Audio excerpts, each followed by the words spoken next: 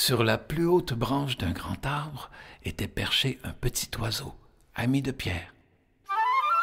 Tout est calme ici, gazouillait-il gaiement.